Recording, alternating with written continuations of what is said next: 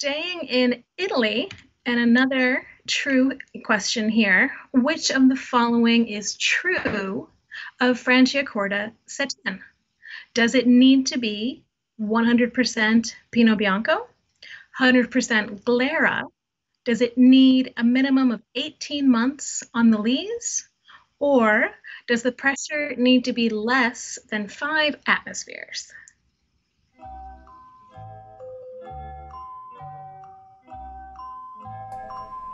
Okay, we're turning up the heat a little bit here on everyone with this question. So, a little obscure perhaps for some of y'all.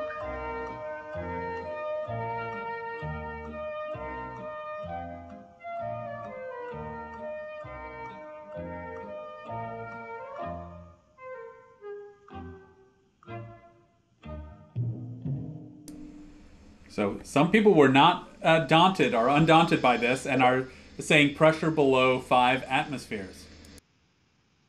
That is excellent, and that is correct. Well done, y'all.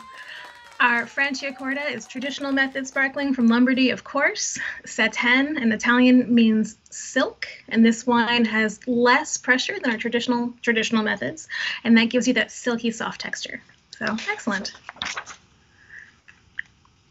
So more bubbles off the beaten path. Let's go up to England. So true or false? Southern England has chalky soil, much like that of Champagne.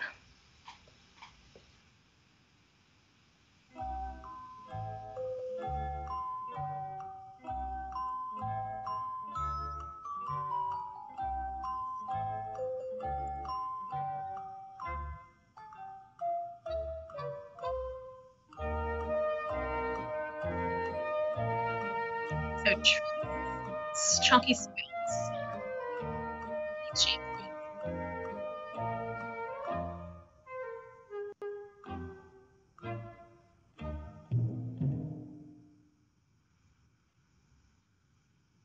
We have a lot of trues coming in uh, here, so most people saying true. Excellent.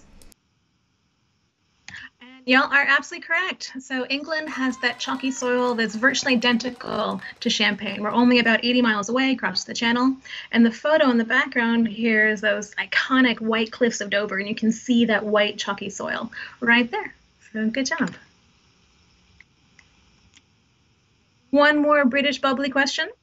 Annual production of English sparkling wine. Are we looking at 4 million bottles, 7 7 million bottles or 15 million bottles.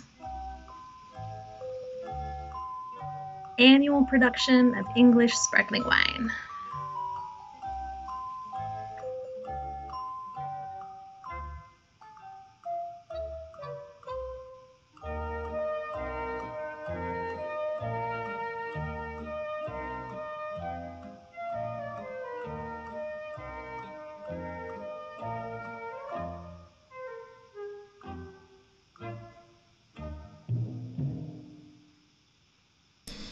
Okay, we have. This is definitely trivia.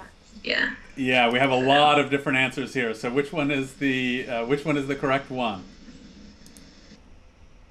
It's seven million bottles. Um, in 19, excuse me, in 2019, about 72% of English sparkling English wine production was sparkling, and that accounted for about seven million bottles. Only about 10% of that is actually exported, though. So these wines might be hard to find in your markets, but I strongly recommend them. They are delicious.